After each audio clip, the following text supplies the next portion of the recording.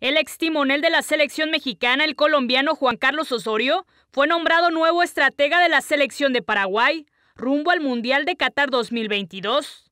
La Asociación Paraguaya de Fútbol anunció este lunes que el colombiano será el reemplazante de Francisco Arce, quien estuvo al mando del combinado guaraní en la última parte de las eliminatorias sudamericanas para Rusia.